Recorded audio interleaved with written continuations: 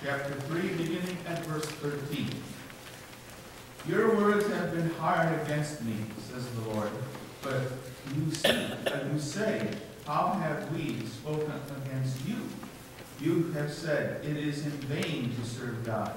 What is the profit of our keeping his charge or of walking as in mourning before the Lord of hosts? And now we call the arrogant blessed. The Evildoers not only prosper, but they put God to the test and they escape. Then those who feared the Lord spoke with one another. The Lord paid attention and heard them. And a book of remembrance was written before him of those who feared the Lord and esteemed his name. They shall be mine, says the Lord of hosts, in the day when I make up my treasured possession, and I will spare them as a man spares his son who serves him. Then once more you shall see the distinction between the righteous and the wicked, between one who serves God and one who does not serve him. This is the word of the Lord. Thanks be to God. The epistle is written in St. Paul's letter to the Colossians chapter 1, beginning at verse 13. He was delivered, he has delivered us from the domain of darkness and transferred us to the kingdom of his beloved Son, in whom we have redemption, the forgiveness of sins. He is the image of the invisible God, the firstborn of all creation. For by him all things were created, in heaven and on earth, visible and invisible, whether thrones or dominions, or rulers or authorities, all things were created through him and for him. And he is before all things, and in him all things hold together. And he is the head of the body, the church. He is the beginning, the firstborn from the dead, that in everything he might be preeminent. For in him all the fullness of God was pleased to dwell, and through him to reconcile to himself all things, whether on earth or in heaven, making peace by the blood of the cross. This is the word of the Lord. Thanks be to God.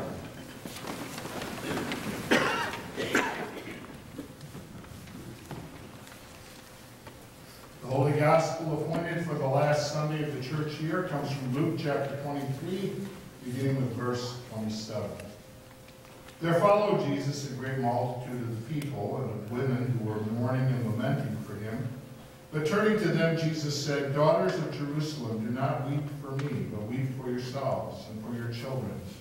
For behold, the days are coming when they shall say, Blessed are the barren and the wombs that never bore, and the breasts that never nursed.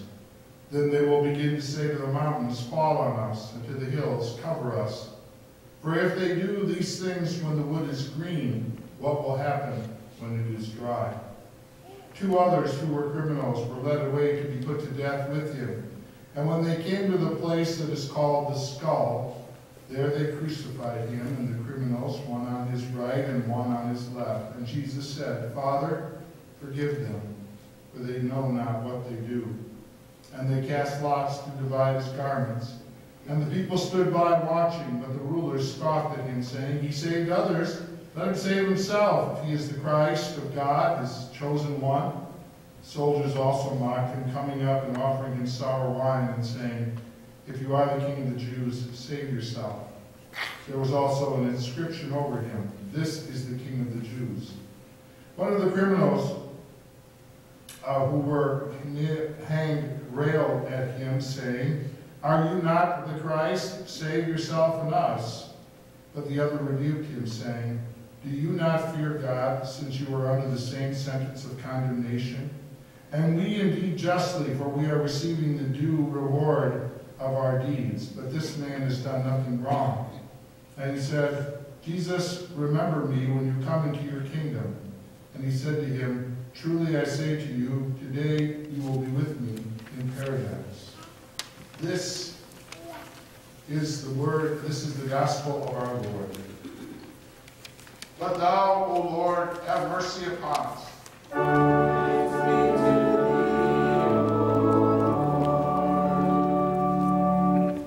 Congregation may be seated. At this time, I would invite the children to come forward to the children's message, but since we have all the kids singing in the second service, I don't sense any of the little ones here for this service. So we will continue with our sermon.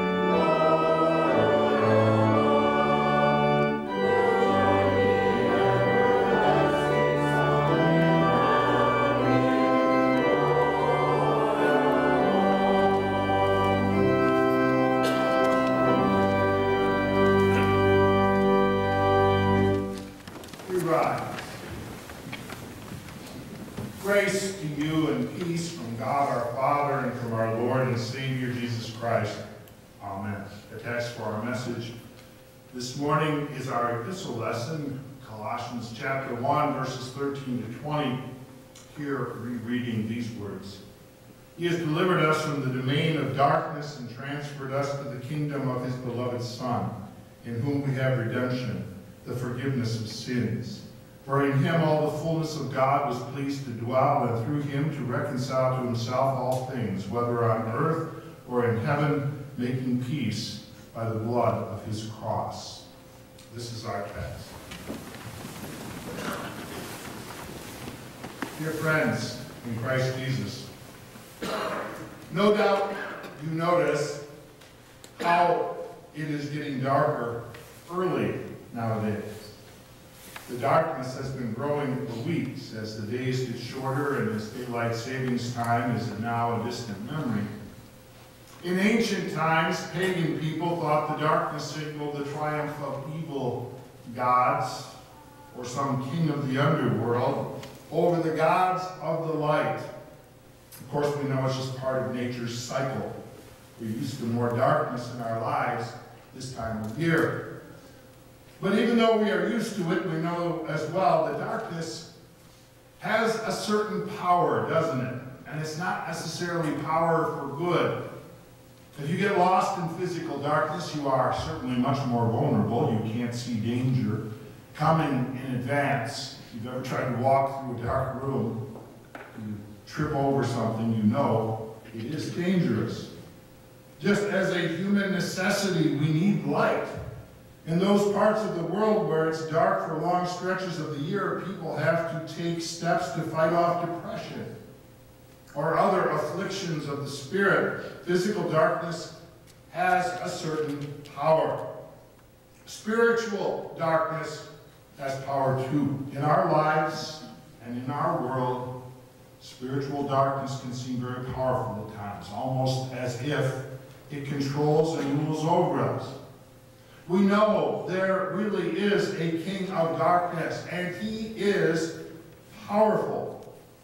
But even though we feel the power of darkness, God's word to the Colossians holds out for us a tremendous promise. That as we come to the conclusion of another church year, we remember the King on this Christ the King Sunday, the King of light, Jesus Christ, that he reigns now and the authority of darkness has been broken. Deliverance from darkness is so vitally important because the darkness seems so strong. Satan's domain is described as the domain of darkness. The reason why this is such an apt description is because the devil trades in deception and temptation and fear. There's reason for this. If you think about it, what Satan is trying to do to us is so evil and vile and destructive that it would look hideous to everyone in the light. So he keeps his intentions cloaked in darkness. He would never come right out and admit that he's trying to destroy people physically emotionally or spiritually. No, he's always hiding in the darkness. He's always lurking in the shadows. And what we can't see either traps us if we're unsuspecting or leads us to despair if we know something is there but we don't know how to fight it. We are, for once, in the domain of darkness spiritually because sin cast us out of the kingdom of light. And even now, Satan still has his pull on you and me. We get pulled in with deception. We are tempted with sinful pleasures like immorality, gambling, drunkenness, gossip, all under the guise of just, you know, living a little. The devil assures us that he would never lead us to something dangerous. He just wants us to have a little fun in our lives. He makes us feel like there's a big party going on somewhere out there and we've been left out and so we stumble. We give in to sinful behavior. maybe at first we feel guilty, but part of us also feels excited. It isn't until later that we realize how destructive such behavior is to our health, our relationships, and our faith. Or Satan pulls us in with temptation. And if we should question where he is leading us, he makes us think that it isn't really wrong. Is it wrong to make a little money on the side? Everyone else is doing it. Or, or to cheat people just a little. Let the buyer beware. Why should the government have to know? Is it wrong to just flirt with other people? What your spouse doesn't know isn't going to hurt them. Is it wrong to miss church every now and then? It isn't like you're an unbeliever yet. And if deception and temptation won't work, Satan will try to pull us in with fear. If he can't get us to do bad things, he can try to make us think that we ourselves are bad. He can pinpoint every sin in your life, every bad thought, every hurtful word, every missed opportunity to do the right thing. This leaves us feeling, I am so sinful. How could God possibly forgive someone like me? Therefore, whenever something bad happens in my life, a bad exam from the doctors, a financial setback, my kid getting into trouble at school, see, see, God is getting you back for what an awful person you are. That pull of sin and Satan may deceive you and tempt you into evil, or it may lead you into discouragement and despair. Either way, the devil is able to pull you away from God. Evil and fear are probably the most commonly driven highways in our world today, and both of them lead a person far away from God, from his love, his salvation, and his wonderful plan for our lives. Once Satan pulls us away far enough, he holds up a mirror and says, Look at yourself. What's wrong with you? Maybe you should just give up the battle and stop trying to live for Christ. And so many people fall away. Sometimes little by little, sometimes quickly and dramatically. But they fall away nonetheless and end up in darkness.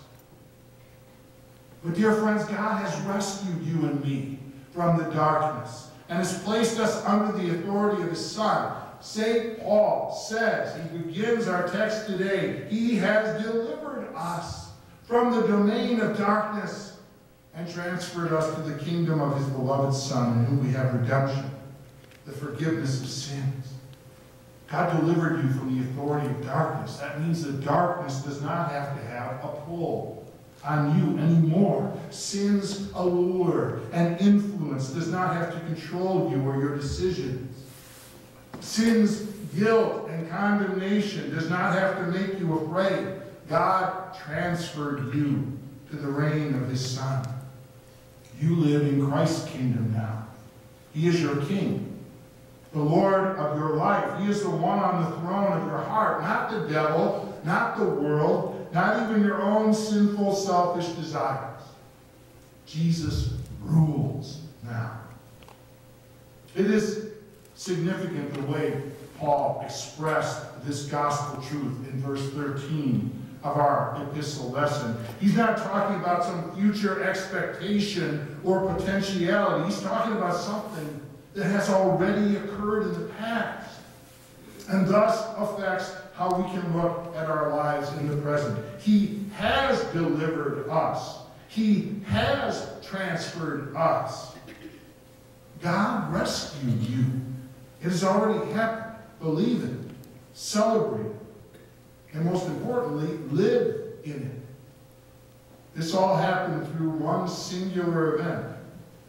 The most important event in all of human history, the event covered in today's gospel lesson the cross. We have redemption because of the death of God's own beloved Son. Christ's death on the cross paid for all our sins. It bought us back from darkness. Those sins we've toyed with because we thought there was a party going on that we were missing out on all the money wasted on worldly pleasure or greedy ambition, all the time misspent on lustful, destructive behavior, and all the mistakes that have hurt ourselves and others, all those sins were forgiven at the cross. Those sins we tried to rationalize away the lying, the cheating, the unfaithfulness to those we love, and especially to God. All those sins were forgiven at the cross. Even those sins we knew where we knew we were wrong and knew were deadly, yet did anyway. The sins that are tormenting us with guilt, choices we've made, opportunities we've ignored. Yes, all of these too were forgiven at the cross. The price was high, don't get me wrong, but God was willing to pay it. The blood of Christ covered the cost. The rescue was complete. Jesus Christ, God's Son, rules. He has the authority to break the power of darkness now and forever. The Son has the same nature as the Father. Or as Paul puts it, he is the image of the invisible God, the firstborn of all creation. God reveals himself openly through the person of his Son. He doesn't wish to keep us in the dark about his identity or his actions. What that means is that every time we see Jesus, we see our triune God. Every time we hear Jesus, we hear our triune God. Every time we experience the love of Christ, we know just how much God himself loves us. And in Christ, we see that God's actions are always gracious, forgiving, and loving. So how is it that the Son has the authority to rule? The Son made all things. His ability to rule has no limit. Paul writes, For by him all things were created in heaven and on earth, visible and invisible, whether thrones or dominions or rulers or authorities, all things were created through him and for him. Wow. Jesus shows that he, not Satan, is the powerful, rightful king of the universe. And when he returns, we will see his throne established and the evil pretender cast down once and for all. But not only did God the Son make all things, he also sustains all things. This is how vast his power is. Or as Paul puts it, and he is before all things, and in him all things hold together. His power is far reaching. It reaches to every corner where Satan may lurk, setting his traps for the unsuspecting. How wonderful to know that Jesus not only sustains the universe, but he also sustains each and every individual. He sustains you. He sustains me. We really do not have anything to fear. Certainly not Satan's worst in this life, nor hell in eternity. And finally, Paul points out that our new king is the church's head. He is the head of the body of the church. He is the beginning, the firstborn from the dead, that in everything he might be preeminent. Jesus Christ rose from the dead. He's the first one to do so, but he won't be the last. Our King's return in glory is the day on which we too will rise to life eternal. Christ did what he did by the fullness of God himself because he is God. Even when you and I don't feel particularly peaceful inside of ourselves, Jesus established peace between us and the Father by taking away all of the hatred and the evil of our sins in his body on the cross. He did it to reconcile to himself all things, making peace by the blood of his cross. Are you one of those people who needs the room completely dark when you sleep? I've heard that more and more people have been using those soft, cushioned sleeping masks, especially if they have to sleep during the day or when the, they live at a place where a lot of light at night filters through their bedroom windows. I can't imagine how such a mask would be comfortable. But those who wear them regularly swear by them. A really good one completely blocks out every single bit of light, which is good. For when you're sleep, trying to sleep, especially if you work the night shift and have to sleep during the day. But what would you think of someone who tried to live life with a mask like that over his or her eyes all the time? There's no telling how much damage people like that might do to themselves or to those around them. Well, when we focus on our sins, on our weaknesses, on what seems like the great power of darkness around and in us, we can become like a person who wears a sleeping mask during the day. We stumble. We become paralyzed. We can't move anywhere safely. What a person like that needs to do is take off the mask, walk in the light. The good news of our salvation in Jesus Christ is like the act of taking off the mask and seeing things in the light for the very first time. As Paul assures us, God has delivered us from the domain of darkness. When you feel the pull and the power of darkness, and every, every Christian feels it, hold fast to God's promise. We are no longer under that condemnation, that danger, that fear. God has rescued us and transferred us to the reign of his Son. One day that reign will come in glory. Until then, we hold fast to our faith and we live in the light, rejoicing in our King. Amen. Now may the peace of God, which surpasses all human understanding, may keep your hearts and minds through faith in Christ Jesus. Amen. At this time, our worship continues with the gathering of our offerings. You may be seated.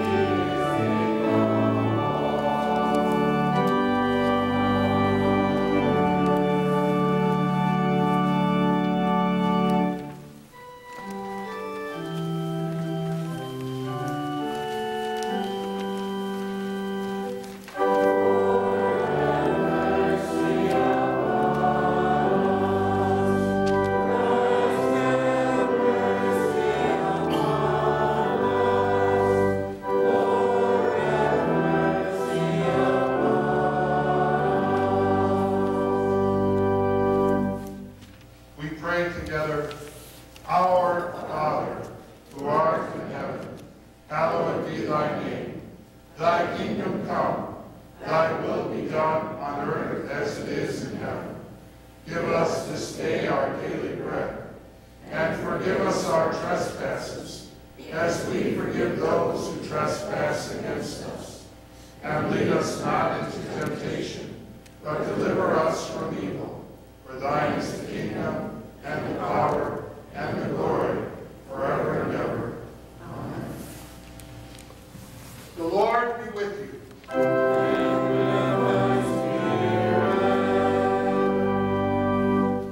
In our special prayers this morning, we ask our Lord to watch over Clarence Kleinauer, who is hospitalized at McLaren in Bay City and will, uh, is scheduled for thyroid surgery on Tuesday.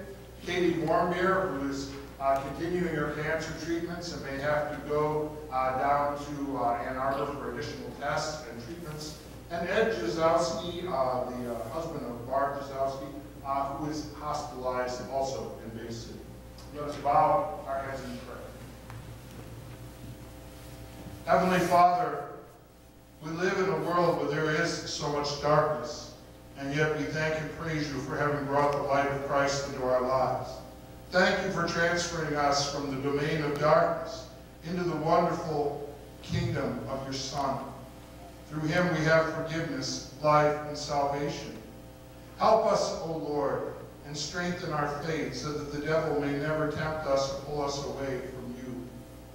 O Lord, we pray for those who have physical needs, especially Clarence, Katie, and Ed, that you would visit them with your healing presence, that you would give them strength, both physical and spiritual, that you would watch over them and heal them according to your will for their life, and let them find always their ultimate peace in you.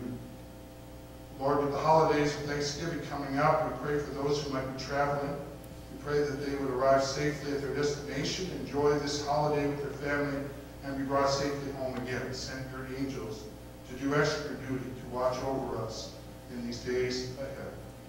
All of these things, O Lord, we pray in your name. And, O Lord, our Heavenly Father, Almighty and everlasting God, who safely brought us to the beginning of this day, defend us in the same with thy mighty power. And grant that this day we fall into no sin, neither run into any kind of danger, but that all our doings, being ordered by thy governance, may be righteous in thy sight. Through Jesus Christ, thy Son, our Lord, who liveth and reigneth with thee in the Holy Ghost, ever one God, world without end.